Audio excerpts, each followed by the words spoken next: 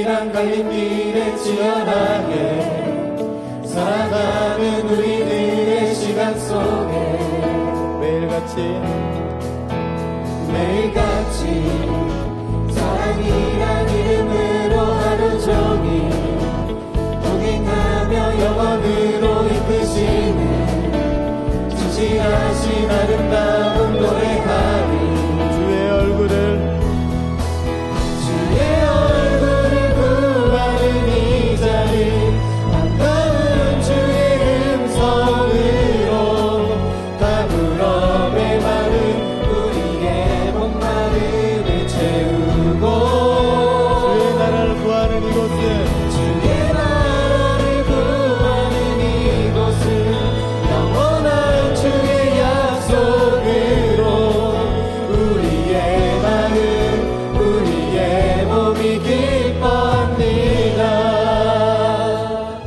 더 우리 그 주님을 고백합시다. 매일매일. 매일매일. 반복되는 갈등 속에 하루하루.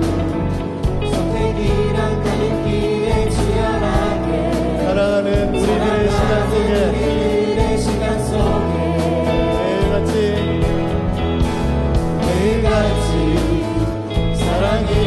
이름을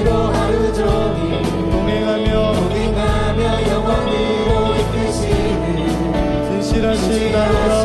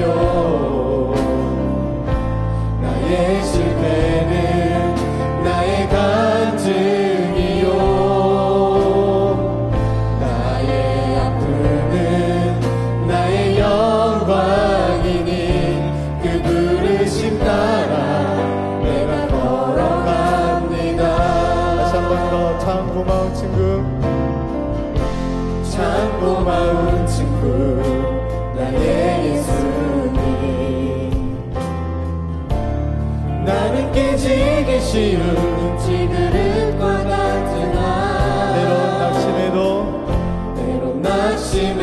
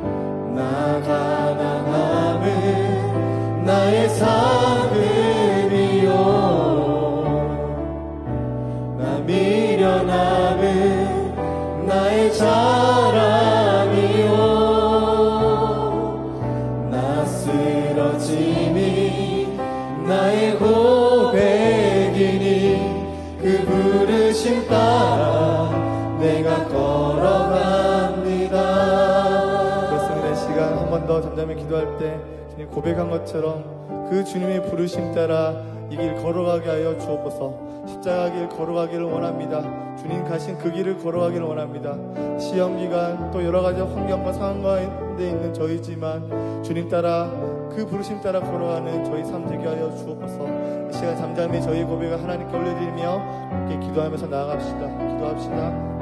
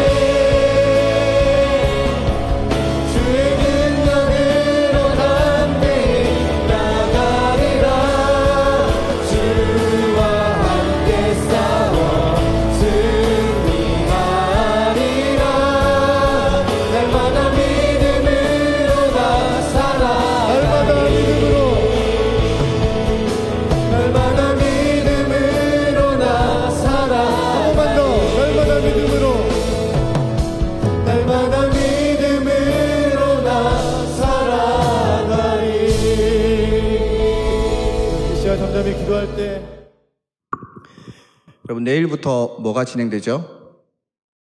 고난주간 특세가 진행됩니다. 이번엔 특별히 아까 말씀드린 대로 오늘 종려주일부터 시작하여 예수님의 부활 전까지 일주일의 기간, 이 고난주간이라고 우리가 드리는데요. 이때가 실은 어, 우리 그리스도인들이 가장 경건하게 보내는 시간입니다. 이 가장 경건하게 보내는 이 시간에 여러분들 함께 새벽 기도에 참여하셔서 혹은 또 개인적으로 기도하셔서 예수님께서 걸어가신 길을 함께 묵상하며 기도해 보면 좋을 것 같습니다. 오늘 무슨 주일이라고요? 제가 무슨 주일이라고 그랬죠? 종려주일. 종려주일이 뭔 줄 아는 사람? 종려주일. 네. 종려주일. 여러분 주일학교 다 나왔을 텐데. 네. 네. 종려주일은 고난주간의 시작이기도 한데요. 종려주일의 어원은 예수님께서 예루살렘에 입성하실 때 사람들이 나뭇가지를 막 흔들면서 오늘 아까 호산나라고 외쳤죠. 이 호산나라고 외쳤는데 그 나뭇가지가 아마 종려나뭇가지였을 것이다. 라고 추정해서 우리가 종려주일이라고 부릅니다. 오늘 읽은 마태복음을 비롯해서요. 예수님의 예루살렘 입성은 사복음서 모두에서 다 다루고 있습니다. 그만큼 중요한 사건이지요. 오늘 이 사건에는 그런데 예수님 말고도 여러 부류의 사람들이 나오는데 말씀을 함께 차근차근 읽어가며 이 종려주일의 의미를 이 사람들을 보면서 생각해 봤으면 좋겠습니다. 오늘 말씀에 보면 예수님께서 6월절이 되어서 예루살렘 성에 들어가십니다. 6월절이 뭘까요? 제가 오늘 너무 많이 질문하나요? 6월절 아시는 분? 6월절, 6월절은 이스라엘 백성들이 원래 애굽에 종살이 하고 있었는데 애굽에 종살이 하고 있었는데 이들이 출애굽 하나님께서 모세를 보내셔서 출애굽하지요. 이 출애굽할 때 어, 모세가 애굽에게 애굽에 하나님께서 열 가지 재앙을 선포하죠. 그 마지막 재앙을 행하십니다. 뭐지요? 바로 첫 소생의 죽음입니다. 그 첫 소생에서 죽음을 피하기 위해서 이스라엘 백성들이 어떻게 하죠? 어린 양을 희생하여 그 피를 문설주에 바릅니다. 어, 그 피를 문설주에 피를 바른 그 문을 그 죽음의 영이 어떻게 하죠? 지나갑니다. 그게 바로 유월이에요. 패스오버입니다. 영어로 패스오버 넘어간다, 지나치다라는 표현입니다. 그래서 6월절이 되면 어, 각 지방에 모여 있던 흩어져 있던 사람들이 이스라엘 백성들이 다 예루살렘 성에 모여서 제사를 지냅니다. 어떤 제사일까요?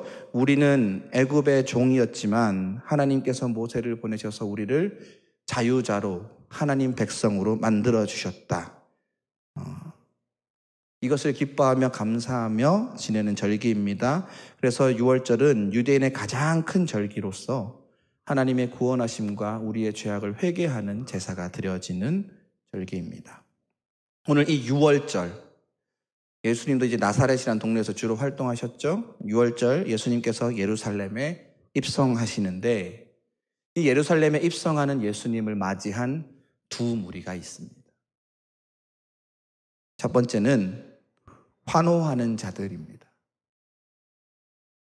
우리 8절, 9절 말씀 저와 여러분 함께 읽도록 하겠습니다. 8절, 9절 말씀입니다. 시작. 무리의 대다수는 그들의 겉옷을 길에 펴고 다른 이들은 나뭇가지를 베어 길에 펴고 앞서가고 뒤따르는 무리가 소리 높여 이르되 호산나 다윗의 자손이여 찬송하리로다 주의 이름으로 오시는 이여 가장 높은 곳에서 호산나 하리라. 6월절이 되었습니다. 흩어져 있던 이스라엘 백성들이 예루살렘 성으로 다 모여듭니다. 그 인파 속에 누구도 있었죠? 예수님도 있었어요.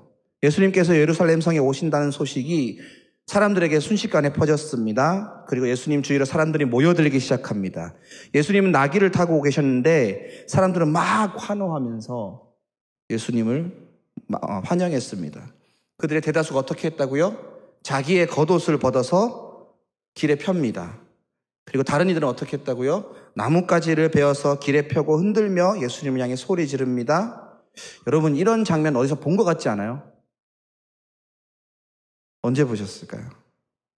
연말 되면 여러 시상식들이 열리죠. 연예인 시상식들이 열려요. 그럼 뭐가 딱 깔려요? 어, 레드 카펫이 쫙 깔립니다. 그러면 어떻게 돼요? 뒤에서 대기하고 있던 연예인이 멋진 옷을 입고 쫙 등장합니다. 그러면 어떻게 돼요? 카메라가 팍팍 찍힙니다. 그냥. 음. 유명한 인기 스타가 레드카펫 위를 걸어오면 사진이 막 찍히면서 또한 그 팬들이 어떻게 합니까? 오빠! 죄송합니다. 누나! 문안 좀 이상한가? 어쨌든 네. 요즘 아재 팬들도 많고 그러니까요. 여러 팬들이 그 사람들의 이름을 환호하면서 그죠? 환영합니다.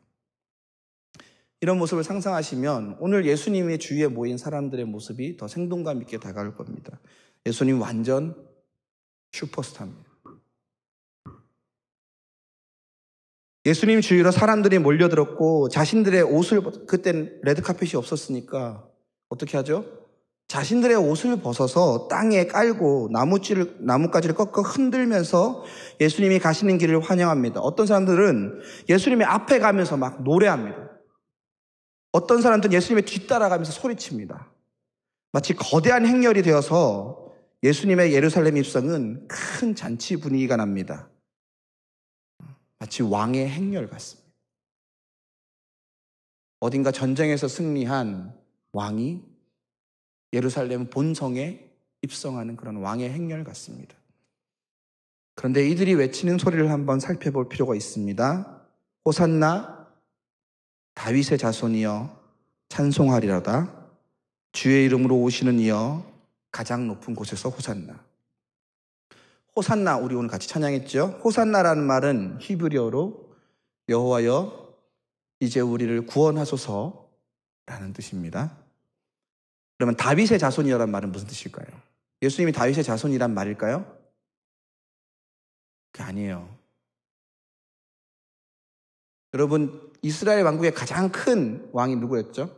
역대에서 다윗이에요. 지금 누가 누구를 다스리고 있어요? 로마가 이스라엘을 다스리고 있고 그 예루살렘 성 안에는 누가 있어요?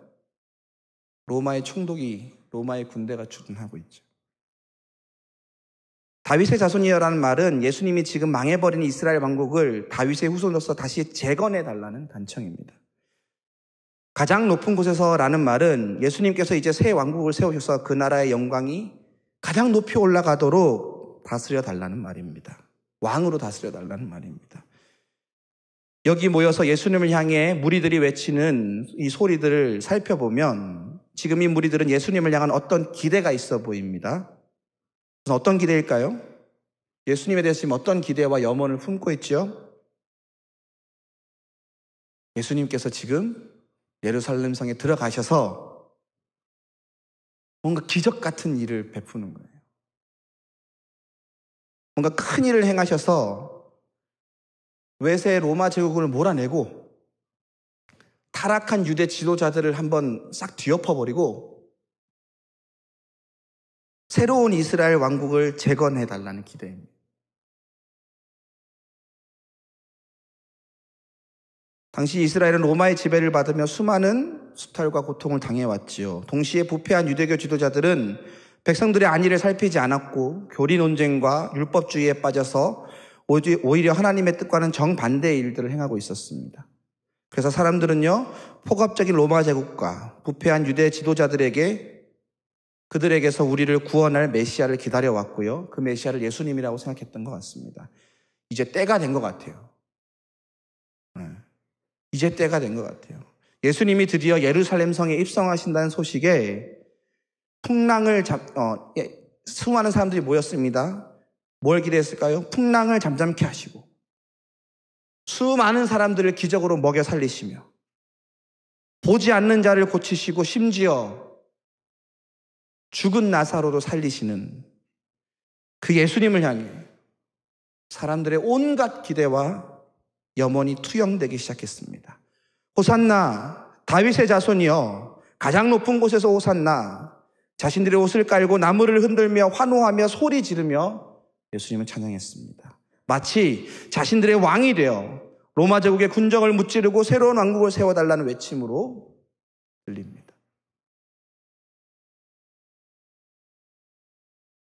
이 무리들 외에요, 예수님의 예루살렘 입성을 둘러싸고 또 다른 사람들의 모습을 그리고 있습니다. 바로 소동하는 자들입니다. 10절, 11절 말씀 함께 읽도록 하겠습니다. 10절, 11절 말씀입니다. 시작. 예수께서 예루살렘에 들어가시니 온 서덩이 서덩 이는 누구냐 하거늘 무리가 이르되 갈릴리 나사렛에서 나온 선지자 예수라. 소동하는 자들이 있었습니다. 이들은 유대 권력자들입니다. 예수님의 예루살렘 입성을 환호하며 맞이했던 자들, 그 무리들이 있었어요. 같이 입성한 자들 말고 다른 이들이 있었어요. 누구냐면 어디 있었다고요? 온 송이 소동했다 그랬잖아요. 그럼 이 사람들은 어디 있었다는 거야? 예루살렘 성 안에 있었던 자들이에요. 여러분 여기가 어디죠? 서울 신천이죠. 여러분 서울 신천에서 좀 혜택을 받으십니까? 수도 서울에 살면서. 지금 우리는 이제 이동의 자유가 있죠. 그러나 조선시대만 하더라도요, 한성 안에 산다라는 건 어마어마한 권력을 가진 사람들입니다. 이들은 예수님을 환호했던 무리와 신분이 다른 자들이었습니다. 무리들은 각지에서 6월절에 대해서 찾아왔던 흩어져 있던 유대, 유대인들이지요. 그러나 오늘 이 예루살렘 성에서 소동하는 자들은 원래부터 예루살렘 성에 살던 자들이에요. 누구냐면 대제사장을 비롯해서 율법학자들과 서기관들, 사내들인이라는 공의회, 당시 로마 제국과 결탁하여 정치적 이익을 취했던 사두개인들, 또한 율법주의 바리새인들, 당시 유대교와 이스라엘 사회를 지도하던 지배하던 지배계층들입니다. 예루살렘 성에서 오랫동안 이 사회를 지배해왔던 자들이 예수님의 예루살렘 입성 소식을 듣고 소동했습니다. 일찍이 이 사람들은요, 예수님에 대해 많이 들어왔고, 바리새인들과 서기관들을 보내서 논쟁하기도 했고요, 나사로를 살리시고 안식일에 맹인을 고치신 일을 가지고 어떻게 해서든 예수님을 방해하고 심지어 죽이고자 합니다. 이들의 본진, 여러분 본진 아십니까? 게임에서. 본진 털리면 끝납니다. 그죠? 이들의 본진이 어디입니까? 예루살렘 성인 거예요. 지금 예수님이 어떻게 하신다고요? 예루살렘 성에 들어가고 계신 거예요. 이들이 소동합니다. 소동하였다라는 말이 무슨 뜻일까요? 이건 충격을 먹었다는 뜻입니다. 예수님의 예루살렘 입성이 그 유대 지도자들에게는 너무 충격적이고 혼란스러웠던 것입니다. 사람들의 환호 소리와 그 모인 인파를 보고 묻습니다. 누구냐? 누가 왔길래 사람들이 이렇게 환영하며 소리 지르느냐? 우리가 대답합니다. 나사렛 예수라. 아, 우리가 제거하고 싶던 그 나사렛 예수. 그가 들어오는구나. 근데 어떻게 들어와요? 수많은 사람들의 환호를 받으며 들어오는 거. 이들이 충격 먹은 이유를 알겠죠.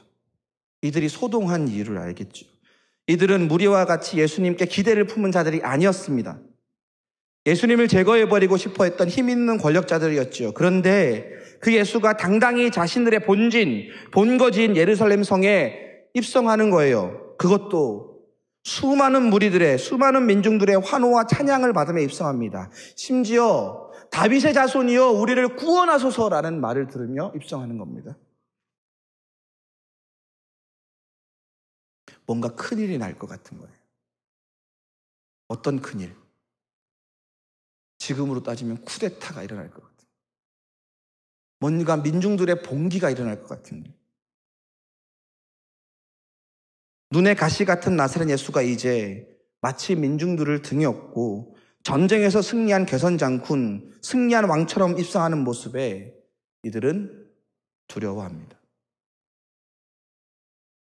여기에는 예루살렘 거민들의 유대 당국자들의 불안이 담겨져 있습니다. 이들은 지금 새로운 왕이 탄생할까봐 무서워 떨고 소동하는 것입니다. 로마의 폭정과 자신들의 무능함에 분노한 민중들이 예수님을 등에 업고 지금의 체제를 전복시킬까봐 지금 자신들이 다스리고 있는 세상을 망칠까봐 소동하였던 거죠. 이들은 도저히 가만히 있지 않습니다. 결국 어떻게 하죠? 예수님을 끝까지 방해하고 예수님을 죽이기 위해 모의하고 유다를 예수님의 제자 유다를 깨어서 어, 예수님을 붙잡고 빌라도에게 넘기고 예수님을 십자가에 매다는 일등 공신이 됩니다. 예수님의 예루살렘 입성은 이렇게 아주 큰 사건이었습니다. 무리의 환호, 그리고 예, 예수, 예루살렘 성민의 소동, 예수님을 환호하는 바깥 무리에게도 예수님을 눈에 가시처럼 생각했던 예루살렘 성민에게도 그 모두에게도 큰 사건이었습니다. 그리고 사람들의 방해와 모함이 들끓었습니다. 그러나 정작 한 사람, 그 사건의 주인공인 한 사람, 예수님은 아무 말도 하지 않으십니다. 예수님 어떻게 대응하셨죠? 아무 말도 하지 않으십니다. 세 번째, 아무 말 없는 이는 예수님입니다. 네, 저는 절, 저는 결코 예수님이 아닙니다. 그죠? 자, 요즘 이 이단이라는 소리를 많이 듣는데요. 네. 말 실수를 해가지고. 어, 이것도 이제, 이제 if, 가정법, as if예요. 네. 제가 만약 예수님이라면 이것도 뭔가 캡처 당할 것 같은 아 왔다 아 싸하다 아 제가 아죠 네. 제가 만약 예수님이라면 사람들이 날 이렇게 환호해 준다면 어떤 생각을 할까요? 저 같으면 이 사람들의 기대와 염원을 등에 업고 어떤 반응이라도 했을 것 같아요. 혹은 어떤 정치적인 쇼라도 해서 그들을 만족시킬 것 같은데 예수님이 어떤 반응도 보이지 않으세요. 자신을 환호하며 찬양하는 이 자들을 향해 예수님이 어떤 반응도 보이지 않으세요. 그저 나귀를 타고 입성하실 뿐이에요. 왜 예수님 아무 반응을 보이지 않으실까? 뭐 예수님을 싫어하는 자들 있잖아요. 그들에게는 아, 제가 싫어하니까 나도 싫어해서 반응 안 할 수 있어요. 그러나 예수님을 좋아하면서 예수님을 이렇게 환영하는 사람들에게 왜 어떤 반응도 보이지 않으실까? 자신들을 환호하는 이 소리에 기뻐하실 만도 한데 왜 예수님 어떤 말도 하지 않으실까? 예수님의 마음을 한번 생각해 봅시다. 예수님 모든 걸 알고 계셨던 것 같아요. 이 무리들의 환호 속에 담긴 기대와 그들이 투영시킨 자신들의 염원이 이후에 어떤 일을 벌일지 다 알고 계셨던 것 같습니다. 큰 일을 행하셔서 기적을 행하셔서 새로운 이스라엘을 자신들의 왕국을 세워주실 것이라는 그 기대와 욕망과 다르게 예수님은 어떻게 되죠? 예루살렘 성에 들어가시자 어떻게 돼요? 큰 일을 행하셔요? 아니요. 잡히셔 제자 유다의 배신에 의해 체포되십니다. 유대 권력자들에게 끌려가십니다. 그리고 빌라도의 손에 넘겨집니다. 빌라도는 예수님을 처형하는 유대 권력자들의 요청이 요청에 예수님의 죄를 찾아보나 도저히 죄를 찾을 수 없다 나옵니다. 그래서 고민합니다. 그리고 시대의 죄인 바라바와 예수님을 내어주어 백성들에게 거기 모인 백성들에게 둘 중 누구를 처형할지 물어봅니다. 그때 백성들 그 무리들의 반응이 이렇습니다. 마태복음 27장 23절에서 26절 말씀 저 여러분들이 한 목소리를 읽도 록 하겠습니다. 시작. 빌라도가 이르되 어찌미냐 무슨 악한 일을 하였느냐 그 빌라도가 아무 성과도 없이 도리어 밀란이 나는 것을 보고 물을 가져다가 무리 앞에서 손을 씻으며 이르되 이 사람의 피에 대하여 나는 무죄하니 너희가 당하라. 백성이 다 대답하여 이르되 그 피를 우리와 우리 자손에게 돌릴지어다 하거늘 이에 바라바는 그들에게 어, 없나요? 네, 이에 바라바는 그들에게 놓아주고 예수는 채찍질하고 십자가에 못 박히게 넘겨준. 여기 백성들이 누구예요?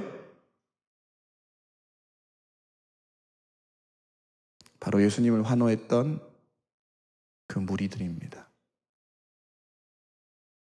호산나 다윗의 자손이여 우리를 구원하소서라고 외쳤던 그 무리들이 예수님을 십자가에 못 박으라 넘겨줍니다.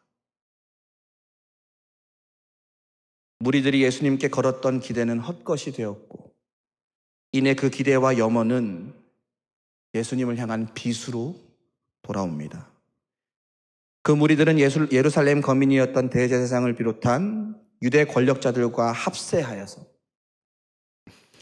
예수님을 십자가에 못 박아라 말합니다. 호산나 다윗의 자손이여 우리를 구원하소서라고 외치던 무리들의 소리는 이제 예수를 십자가에 못 박으라는 외침으로 돌아옵니다. 이제 예수님께서 한 말씀도 하지 않으신 것이 이해가 됩니다. 소동했던 예루살렘의 지도층의 위협도 문제지만 예수님을 향한 기대를 품고 헛된 자신들의 염원을 투영했던 무리들의 소리도 문제였던 것입니다. 무리의 기대와 그 투영했던 욕망이 예수님을 십자가에 못 박는 기폭제가 된 것입니다. 예수님 어떻게 하십니까? 그냥 내버려 두십니다. 자신에게 빚으로 돌아올 무리의 환호도 자신의 십자가에 처형할 예루살렘 거민의 소동도 그저 그대로 두십니다.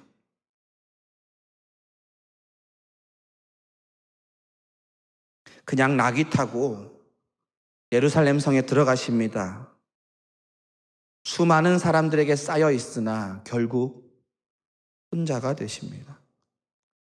그럼에도 예수님 그 길을 멈추지 않으십니다. 왜냐하면 예수님께서는 이 모든 인간들의 죄악의 틈에서 하셔야 할 일이 있기 때문입니다.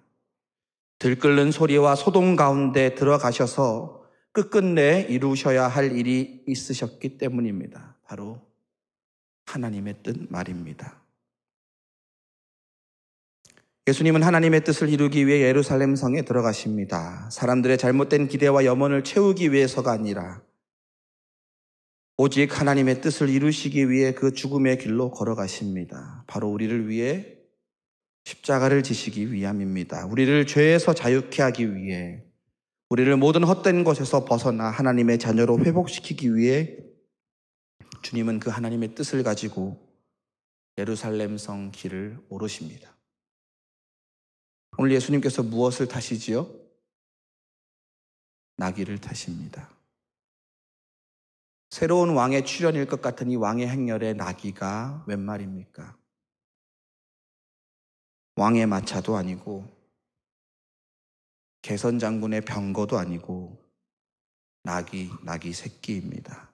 나귀가 무엇을 싣는 동, 짐, 짐승이죠?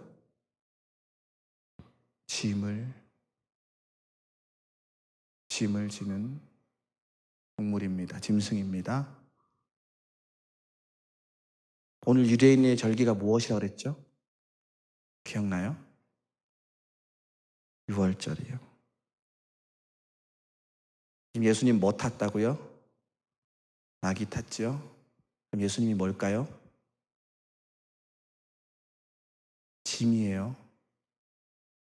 6월절 예수님이 예루살렘 성으로 올라가십니다. 짐이 돼서. 어떤 짐이 되어서.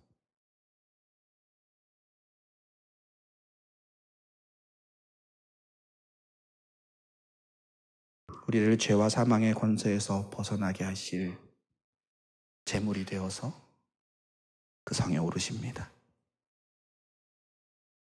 6월절 어린 양이 되어서 예수님께서 나귀를 타시고 예루살렘 성길을 오르십니다. 우리를 구원하시기 위한 하나님의 뜻을 이루기 위해 주님은 그렇게 그 길을 걸어가십니다. 이제 설교를 마치려 합니다. 한편으로는 무리들이 예수님께 걸었던 기대와 염원이 이해가 되기도 합니다. 왜냐하면 그 모습이 제 모습이기 때문입니다. 우리는 수많은 기대와 염원을 품고 있지요. 예수님을 향해 많은 기대와 염원을 품고 있습니다. 그들의 삶이 어려웠을, 얼마나 어려웠을까 주님도 그들의 삶의 괴로움을 잘 이해하셨으리라 생각합니다. 우리의 삶도 잘 이해하시리라 생각합니다. 그러나 예수님에게 더 크고 중요한 일이 있습니다. 그것은 우리에게도 가장 크고 중요한 일입니다. 우리를 죄와 사망의 권세에서 풀려나게 하는 하나님의 일 말입니다. 그 일을 위해 예수님은 무리의 기대와 염원을 뒤로 해야만 했습니다. 그 결과 주님은 버림받고 죽임 당하셔야 했습니다. 그리고 끝끝내 하나님의 뜻을 이루셨습니다. 우리가 예수님께 기대하고 염원하는 것들이 있죠. 그것이 다 나쁜 것은 아닐 것입니다. 그러나 오늘 우리는 예루살렘 성에 입성하시는 예수님을 이해하기 위해서 우리의 기대와 염원은 잠시 내려두면 좋겠습니다. 우리를 이해해 달라는 말보다 주님을 이해하려고 한번 노력했으면 좋겠습니다. 예전에 저를 가르쳐 주셨던 목사님의 말이 떠오릅니다. 사순절 특히 이 고난 주간은 우리가 예수님을 알아들이는 기간이라 말씀하셨습니다. 우리 어떻게 기도해요? 평소에 우리 어떻게 기도해요? 주님 나 좀 알아주세요. 주님 내 뜻대로 좀 해주세요. 내 계획을 좀 이루어 주세요. 주님 나를 좀 따라와 주세요. 주님 내 마음을 좀 헤아려 주세요라고 기도하죠. 그러나 이 고난 주간만큼은 반대로 기도했으면 좋겠습니다. 주님 우리가 주님을 알기 원합니다. 주님의 계획을 이루어 주옵소서. 주님 내 뜻이 아니라 하나님의 뜻을 이루어 주옵소서. 주님 내가 주님을 따라가겠습니다. 주님의 마음을 헤아리고 싶습니다. 이렇게 기도하는 건 말입니다. 이 고난 중간 한 주만이라도 우리가 주님께 걸었던 기대와 염원은 잠시 내려놓고 주님을 뒤따라 가보면 좋겠습니다. 우리가 앞서가지 말고 주님이 가신 길을 하루하루 한 시간 한 시간 뒤따라 가 보면 좋겠습니다. 주님이 도대체 우리를 위해 어떤 일을 행하시는지 뒤따라 가 보면 좋겠습니다. 주님의 마음은 어떠신지 알아 보면 좋겠습니다. 새벽 기도를 통해서도 좋고 여러분들의 개인 묵상을 통해서도 좋습니다. 주님의 발자취를 따라가며 주님께서 우리에게 무슨 말씀을 하시는지 듣는 시간 되었으면 좋겠습니다. 오직 주님만 바라보고 뒤돌아가는 한 주 되길 소망합니다. 함께 기도했으면 좋겠습니다.